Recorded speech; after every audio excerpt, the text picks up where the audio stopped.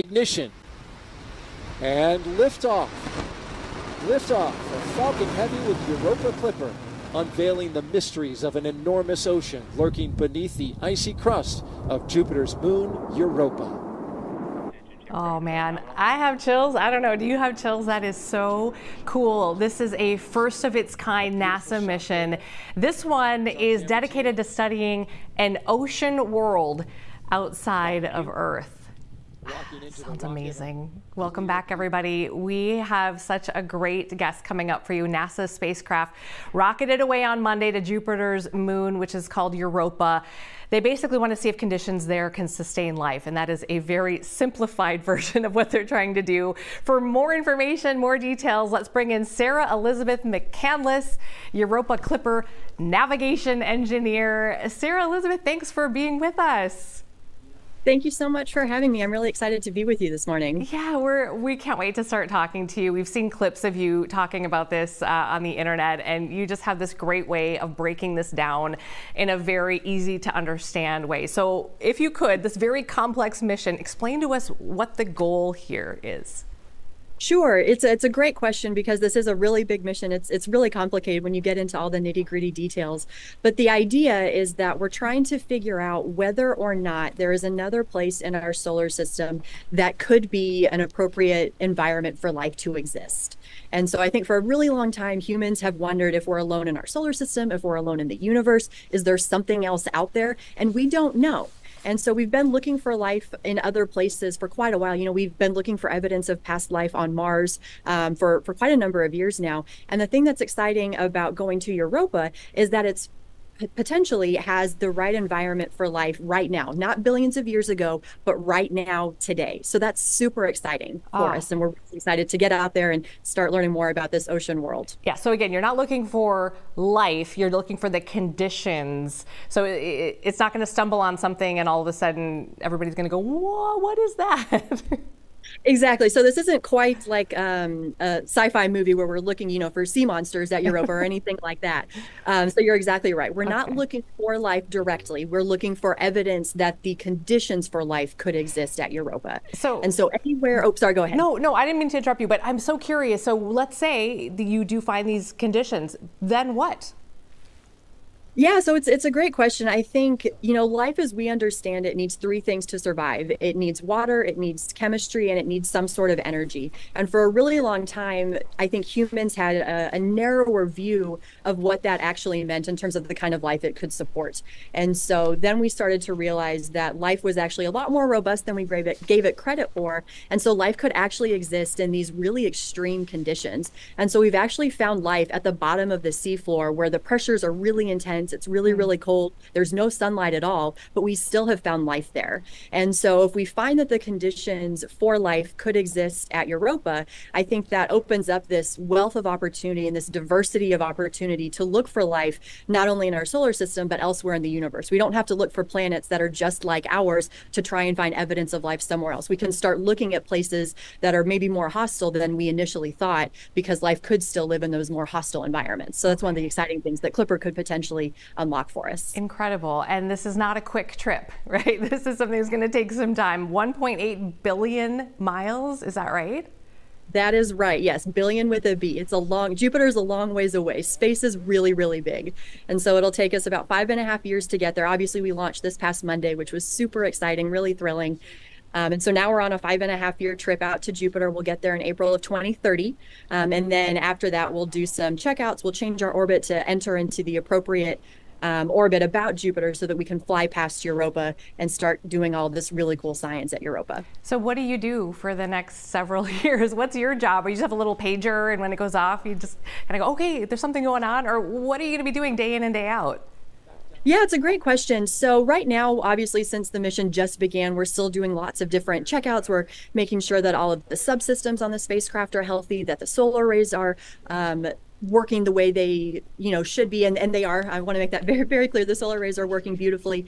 Uh, we just are continuing to to do additional checkouts with those solar arrays make sure that they can um, articulate essentially they can rotate um, the way that they're supposed to um, as we change our orientation relative to the sun. Um, so over the next several um, months and then stretching out in, into years we're continually tracking the spacecraft. When i, I do a lot of outreach um, and so i always like to tell people i'm sort of a, an interplanetary maps app. Like you can't can't just pull out your phone and say, hey, how do I get to Jupiter? Like we don't have GPS out in deep space, right? And so it's essentially the job of a navigation engineer to understand the data that we get back from the spacecraft and then figure out where it is and predict where it's going. And that's the part that's super important um, because we don't just want to end up, you know, somewhere near Jupiter. We want to end up at the exact right point so that we can so that we can insert into the appropriate orbit about Jupiter to then fly by Europa and conduct the science. So we'll be tracking it very carefully, making sure it stays exactly where it's supposed to. And if it doesn't, we'll execute some maneuvers to kind of nudge it back on track to make sure it, it ends up where it should. I think that's one of the most fascinating parts of this is your job and, and the job that you have to plot out that trajectory and then stay stay on it. It's just incredible. What got you into this? I mean, have you always loved space? Even as a kid? I have. When so when I was little, my parents showed me a photo called "The Pillars of Creation," and it's this super iconic photo that probably everyone mm-hmm. has seen, even if they don't realize it. Um, and it was a photo that was taken by the Hubble Space Telescope back in the 90s, and then the James Webb Space Telescope actually recreated that image. I think back in 2021, um, but but more recently because it's obviously a, a newer telescope. Uh, but in the original Hubble image, it's this really iconic photo, and you see these three pillars of gas, um, and it's a photo of a, a stellar nebula, which is essentially a, a nursery where stars are born out in, in space. And so I saw that photo and I saw that there was all of this color, there was all of this structure, there was all of this stuff out in the sky that I had never seen before from my backyard. I'm from uh, Kansas City originally, so you can actually see the uh, the stars at night, unlike Los Angeles where I am now. Um, and so I had always loved looking up at the stars, and then I saw this photo, and my brain just kind of exploded and realized, oh my gosh, there's all of this stuff out there in the mm. sky, and I had no idea what else is potentially out there. And I told my parents I wanted to be an astronaut, and I've I've never really looked back. That is amazing. I love that you that you're in this field and you have such a great way of explaining all of this to make it so digestible. Uh, you have, um, I think, a little bit of a Minnesota connection, maybe a mid-range Minnesota connection, which we love. So uh, I was just Googling you and, and trying to figure out who you are. And uh, I saw that you actually have been to a really popular camp here called Camp Foley, which I've also been to. So no way. yeah, yes. So I, you have to talk a little bit about how from Atchison, Kansas, you get to, uh, you know, central Minnesota, and and you end up at Camp Foley, and you were there for several years. Is that right? I was. I think I'd have to go back and double check. I was a camper at least six years wow. up at Foley, for sure. Yeah, and my younger sister um, was a camper up there as well, so we both went. Uh, so, do you have family here, or friends, or how did you end up coming to Minnesota for summer camp? It, you know, it's a great question. Um, uh, my parents, honestly, probably are the better people to ask that. Um, but I think you know we we wanted to go to summer camp as as kids. Mm. I think mm-hmm. like a lot of kids from the Midwest, you know, we were super lucky. We did swim team, we did ballet camp, we did a lot of different things growing up. Uh, but we wanted to go to to a more authentic. My sister and I always jokingly refer to it as like a, a parent trap kind yeah. of summer camp.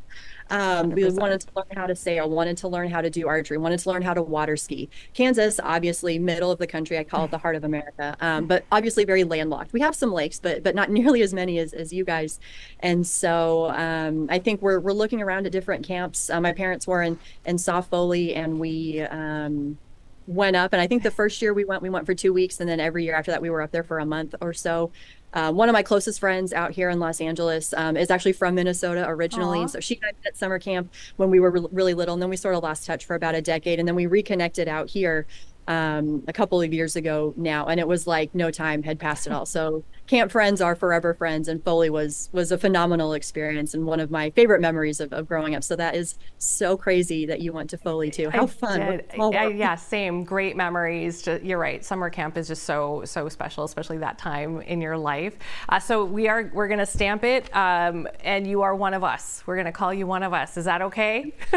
Perfect perfect. I'm honored to be an honorary minnesotan. that's so great Uh, I actually have our uh, one of our meteorologists here, Jared Piepenburg. I, we didn't plan on this, but because Jared's a meteorologist, I'm just very curious if Jared, you have any questions.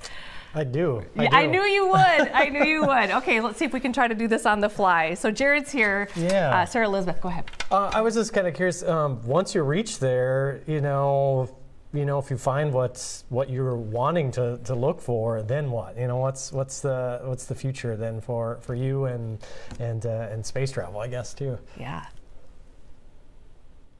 question. I think one of the most exciting aspects of space travel um, and, and, missions like this to places that we don't know a ton about. To be clear, Europa Clipper is the first mission that is dedicated to exploring Europa, but we, we've seen Europa before. We've sent um, past missions either to Jupiter specifically or missions that have flown past Jupiter on their way to other places. So we have images of Europa today. We know a little bit about it, but obviously there's a lot more that we want to to discover. Um, and so I think one of the cool things about going to a place that you don't know a lot about is that you don't know what you don't know. Mm. And so I can guarantee, even though I'm not a scientist, I can guarantee that when we get to Europa, we will find things we did not expect. We will see things we did not expect. And it's going to open up this whole new wealth of questions and this whole new wealth of potential science investigations. And we'll try to figure out how to answer questions that we didn't even know to ask today. And so I think that's one of the really exciting things about Clipper is that there's a lot we want to, to discover. There's a lot we want to learn. We have a great um, diversity of science instruments on board to help us answer those questions. You know, how deep is the ocean? How thick is that icy crust? Are there organic compounds in the ocean? Might there be organic compounds on the crust? What's in the, the Euro- European atmosphere? Are there plumes at Europe? I could go on and on and on with all of these current science questions that we have. But once we get there, there will be a whole new set of questions that we didn't even know to ask. And so I think arriving at Europa is certainly not any sort of ending point by any stretch of the imagination. And I think it's just going to unlock a whole new wealth of discovery and a whole new wealth of science inquiry that's really, really exciting. That's so great. Uh, I have two more really super quick questions. One is when people find out that you work for NASA with NASA, how many times out of 10 do they ask you if you believe in aliens? I just need to know this. um, pretty frequently. Um, I get that question a fair bit. Yeah. Uh, you can laugh. That was my way of asking you. I don't know. so, yeah, you this is the very um, Minnesota way of asking you. Yeah, I should I should have picked that up. No, it's um, okay. Um, so I always have to make it very clear. This is my own personal opinion, right? It's not the official um, opinion of, of NASA as an agency or anything like that. But I think the universe is too big for there not to be something that's out there. Mm. Uh, you know when we talk about looking for evidence of life especially when i'm talking with with kids i always say you know we're not necessarily for looking like life that is is you and me we're not looking for people we're not necessarily looking to find some version of a european dog or a european mm-hmm. tree right uh, but even if we can find life that's as simple as bacteria you know mm. single celled organisms you know very small multicellular organisms that is still life. And that would still be a paradigm changing discovery. And so i think that something like that has to be somewhere in the universe because it's just too big and there's just too much weird stuff out there for there not to be um, something, you know, some form of life out there. Um, mm. We think Earth is really special and Earth is great. It's my favorite planet. Um, but, you know, in the grand scheme of the cosmos, you know, Earth probably isn't that unique. Mm, so wow, well, you just made a, I know at least a handful of people here at the station very happy because they are they're determined to convince everyone that yes, there is there is life. So thank you for that. Also, my last question is, uh, is your T-shirt for sale, and where can we buy it? Um, you know, that's a great question. I don't know. So this is a, a, representation of the the Clipper trajectory. So I'm trying to, to do this as not awkwardly it's as I probably fantastic. can. Um, so this is the idea. Um, this is a representation of kind of what we'll be flying. And I guess I, I maybe wasn't explicit about this before, um, but Jupiter has a, a, super intense radiation environment. And so what that means is that when Europa Clipper gets to Jupiter, it's not actually orbiting Europa. Mm. If it mm. did that, it wouldn't last as long as we want it to because the radiation would just destroy our spacecraft. So what we're actually doing is orbiting Jupiter and we're flying past Europa every couple of weeks. Oh. And so we oh. do that 49 different times times over the span of several years. And what we do with, and that's sort of why you see all these different, you know, loops yes. kind of around. So like Jupiter's here in the middle, and then Europa, the trajectory of Europa is right here. And so then we build up all of these loops about Jupiter to build up global coverage of Europa so we can observe it, you know, on all sides at different altitudes and different lighting conditions because all the different science instruments, you know, want to observe Europa in slightly different ways. They all work together, certainly, um, to have collaborative science to help us answer these really big questions. But each instrument individually has its own requirements. And so we have these different flybys of Europa over time to build up that coverage so we can start to answer those questions. So that was a, sorry, a very long-winded answer of saying, um, I don't know where this shirt is available for sale, but if I find that information, I am certainly happy to pass it along. Please let me know because I know a lot of us want to uh, order that. That is fantastic. We are big fans of you and appreciate you so much. Uh, thank you. And thanks for being just a role model for, you know, maybe young women who are looking to get into this field and uh, you're just, you're awesome. So we we appreciate your time today and best of luck with this. Maybe we can check in with you during the course of the next few years and just see how things are going. Absolutely, absolutely. I'm happy to to talk NASA, Europa Clipper anytime. Awesome. So I appreciate and Camp Foley. and Camp Foley. Sarah Elizabeth McCandless, thank you so much. Good luck with everything. We'll talk to you soon.